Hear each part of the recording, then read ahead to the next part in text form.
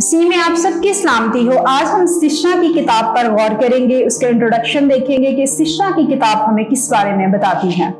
सिश्ना की किताब मूसा के उन खुतबात के बारे में बताती है, जो उसने मुल्क मुआब में अपने लोगों को दिए थे। इसराइली बियाबान में तवील सफ़र कर, तय करके वहाँ पर पड़ाव डाले हुए थे। वो मुल्क के कनान में दाखिल होने और उस पर कब्जा करने को थे।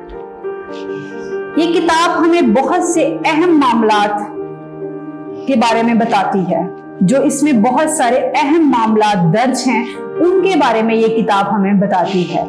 मूसा गुजश्ता 40 साल के अहम वाकयात के बारे में याद दिलाता है। वो लोगों को ताकीद करता है कि वो याद करें कि खुदा ने किस तरह से बियाबान में उनकी रहनुमाई और निगहदाश्त की। अब ज़रूर है कि वो खुदा के फर्मा बरदार रहे।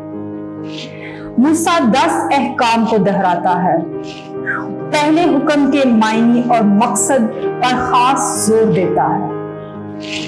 वो बताता है और लोगों से कहता है कि वो खुदावंद खुदा यहोवा, जो जान निसार करने वाला है, उसको याद रखे।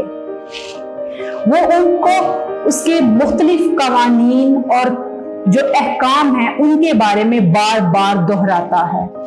और वो जो इसराइली हैं, उनको बताता है कि वो उसके मुताबिक अपनी जिंदगियाँ बसर किस तरह कर सकते हैं।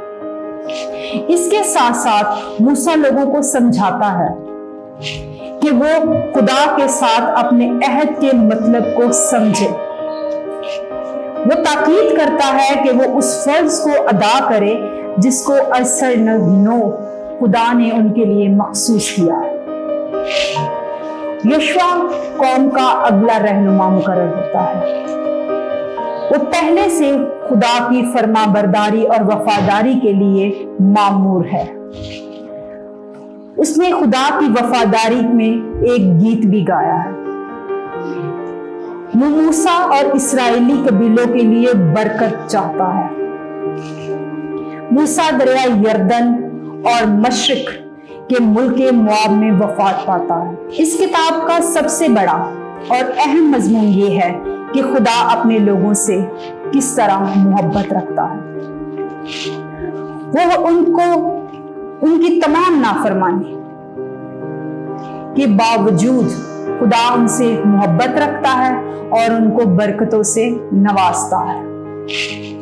उसके लोगों का फ़र्ज़ है कि वो उसको याद रखें।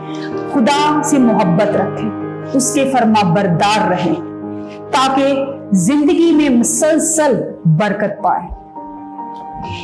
इस किताब में चार छ कलीदी आयात हैं, जिसमें खुदा ने हुक्म दिए हैं, जिसे खुदा ने सबसे बड़ा हुक्म करार दिया है कि तू अपने सारे दिल, अपनी सारी जान और अपनी सारी ताकत से अपने खुदावंद खुदा से मोहब्बत रख।